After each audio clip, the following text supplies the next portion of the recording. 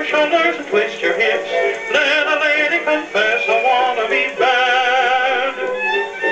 If it's naughty to beg the men, sleep each morning till after ten, then the answer is yes, I wanna be bad. This thing of being a good little goody is all very well. What can you do if you're loaded with plenty of help?